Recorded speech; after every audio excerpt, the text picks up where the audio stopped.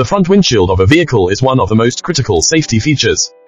providing drivers with an unobstructed view of the road while protecting them from debris, wind,